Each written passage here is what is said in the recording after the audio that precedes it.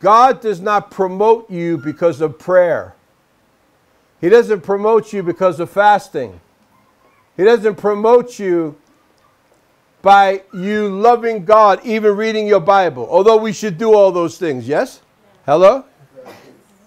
We should pray, we should fast, fast, and we should read our Bible, and we should study. But you know, you know why God promotes a man or a woman? Because of management.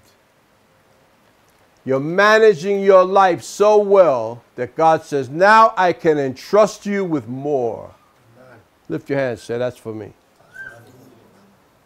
When you manage your life well, God can promote you.